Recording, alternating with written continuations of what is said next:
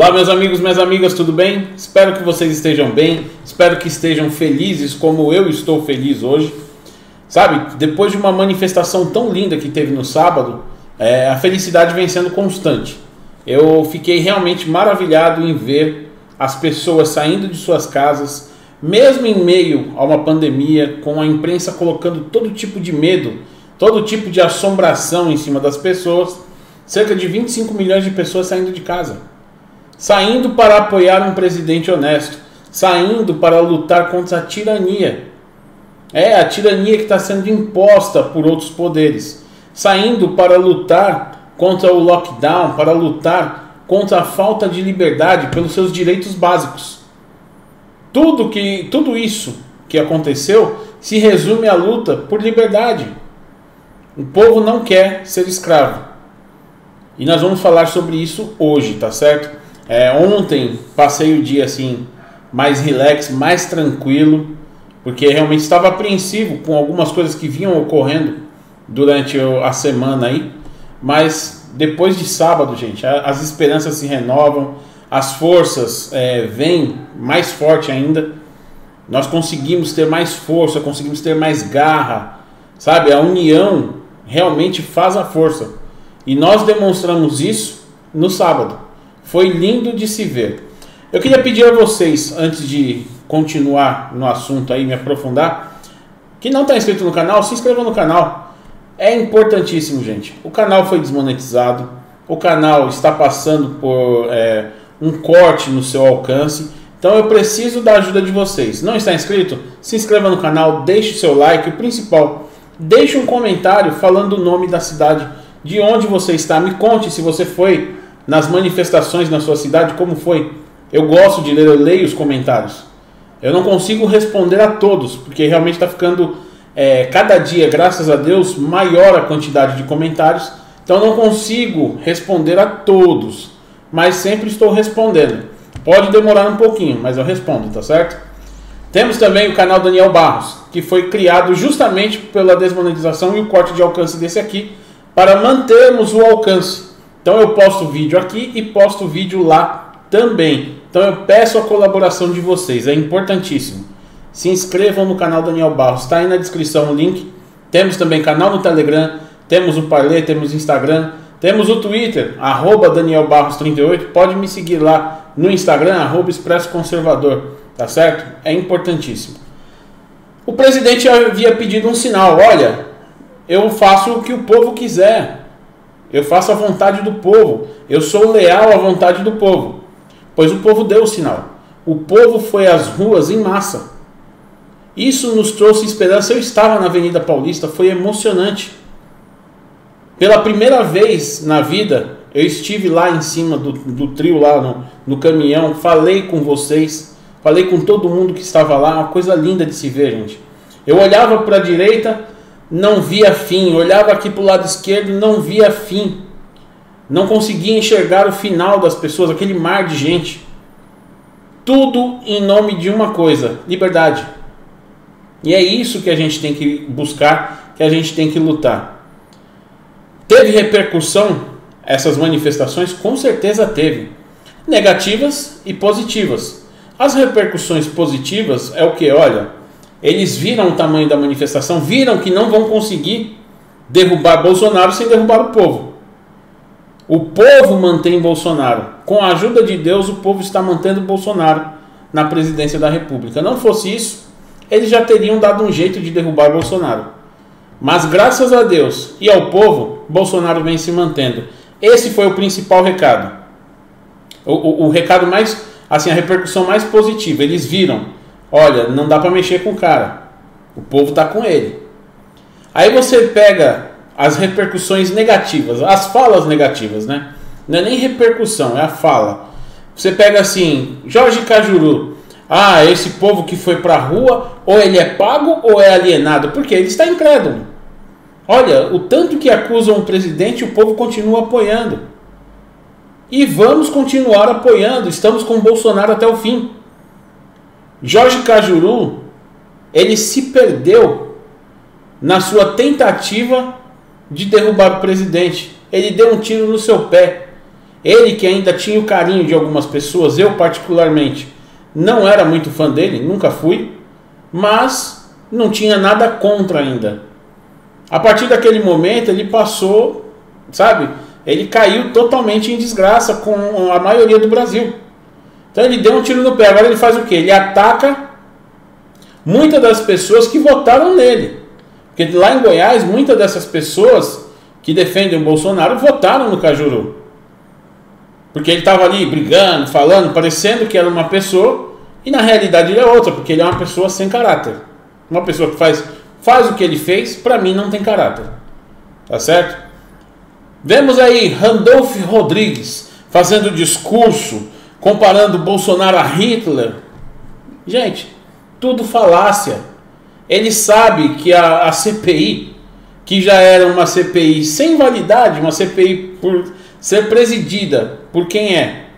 Um, um cara que já foi investigado até por pedofilia. Tá certo? Desvios de dinheiro na saúde. E se safou por conta de outros políticos que o ajudaram. Não tem validade. Você pega o relator, aí você fala assim: vamos ver os outros membros da CPI. Você pega o relator. Um cara com um, trocentos processos no STF um cara para investigar o seu próprio filho, que é conhecido por ser uma pessoa sem escrúpulos. Que validade que vai ter? O povo vai apoiar uma CPI dessa? Uma CPI desse tipo teria tudo. Tudo para ser uma CPI de verdade. Não fossem as pessoas que ocupam os cargos lá. Fala, olha, vamos investigar o governo federal, vamos investigar os governos municipais, vamos investigar os governos estaduais. Ok. Se fosse uma investigação verdadeira, eu tenho, sabe, tenho tranquilidade. Eu sei que não ia ter nada de errado no governo federal. Já nos estados e municípios, nós estamos vendo governadores sendo impeachmentados, sendo processados, prefeitos sendo processados, secretários sendo presos com quantias vultosas de dinheiro em casa, em secretarias. Vemos aí denúncias e mais denúncias de desvios de dinheiro nos municípios, nos estados, que era para ser de combate à pandemia, mas que foram desviados, foram roubados. Olha, compramos 230 respiradores, não entregaram nenhum. Compramos 3 mil respiradores, não entregaram. E o seu dinheiro sendo jogado no ralo, jogado fora. Eles passando a mão na cara dura. Uma CPI teria que investigar isso. Mas a partir do momento que você coloca um, uma pessoa que tem 13 processos no STF para investigar o seu próprio filho, você não vai esperar nada de bom de uma CPI dessa. Então a CPI já não tinha validade. Após as manifestações, ela tem zero, zero validade, nada, não vale nada. É apenas mais uma CPI, como todas as outras CPI, CPIs que tivemos, que vai terminar em pizza. Eles vão dar um jeito de acobertar governadores e prefeitos, porque eles têm um rabo preso também. Vão dar um jeito de acobertar e não vão conseguir fazer nada contra Bolsonaro, apesar da vontade, porque eles sabem que o povo está com Bolsonaro. E todo poder emana do povo. Então, quando você saiu e foi às ruas, gente, isso é maravilhoso. Você está mostrando para eles: olha, não mexa com o presidente. Nós o elegemos democraticamente. Ele foi o mais votado, nós o colocamos lá. Nós queremos que ele continue governando. É isso que, que você está passando de recado. Aí você pega a imprensa desleal, você pega é, membros de movimentos aí que se dizem liberais, que se, se dizem pelo Brasil livre, falando baboseiras, groselhas. Olha, o movimento foi, foi pequeno. Foi pequeno, sim, aquele mar de gente no país inteiro saindo às ruas, mesmo com tudo contra, e saíram sem medo, encheram as ruas, tudo para mostrar apoio. Eles disseram que, olhe, coloque um pano preto na sua janela. Ninguém viu, nenhum pano preto, ninguém viu nada, porque o povo está com Bolsonaro. O povo sabe que Bolsonaro quer o melhor do povo. Todas as atitudes que Bolsonaro tomou agora, tomou até agora, são em prol do povo. Olha, o povo tem que trabalhar, o povo tem que comer, o povo não pode ficar preso em casa, tem que respeitar a Constituição e Bolsonaro vem fazendo.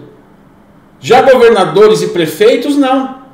Colocam toques de recolher, sendo que é inconstitucional.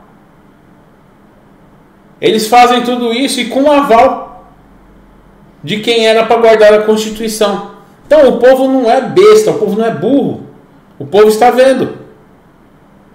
Aí você pega assim e fala: ah, mas em 2020 ir para a rua é uma coisa, votar é outra. Em 2022, aí você pega a pesquisa eleitoral. Aqui em São Paulo, por exemplo, levantamento: Bolsonaro disparado na frente, no maior colégio eleitoral do país. Ele está disparado. Está à frente do Molusco, está à frente do Sérgio Moro, está à frente do Luciano Huck, está à frente de Ciro Gomes. No maior colégio eleitoral, quem quiser ganhar para presidente tem que ganhar em São Paulo. O maior colégio eleitoral do Brasil é totalmente pró-Bolsonaro. Então isso causa desespero. E nós temos que ter é, essa sensibilidade, esse, é, esse feeling de saber que eles vão tentar de tudo. A luta vai ser árdua, vai. Até 2022 vai ser árdua. Eles vão continuar tentando todos os dias, porque é a sobrevivência deles que está em jogo.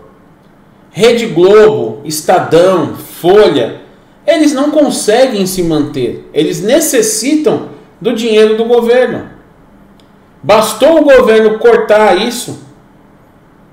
Começou a acontecer o quê?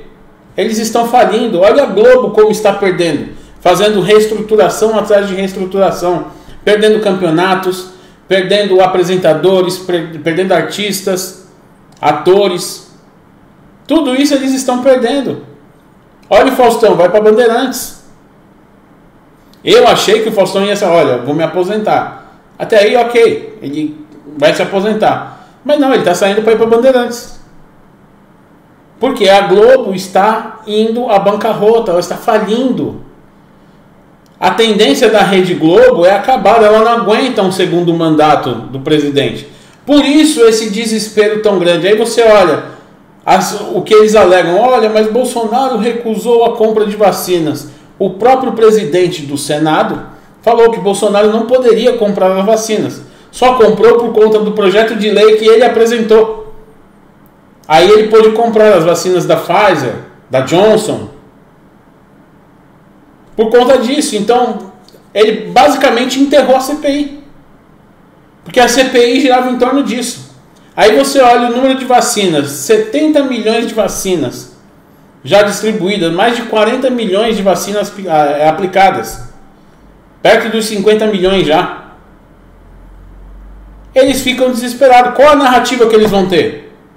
Eles vão ter que inventar outra coisa. Então eles viram que o timing deles é o que? Olha, Precisamos derrubar Bolsonaro antes do fim da pandemia, antes de vacinar as pessoas.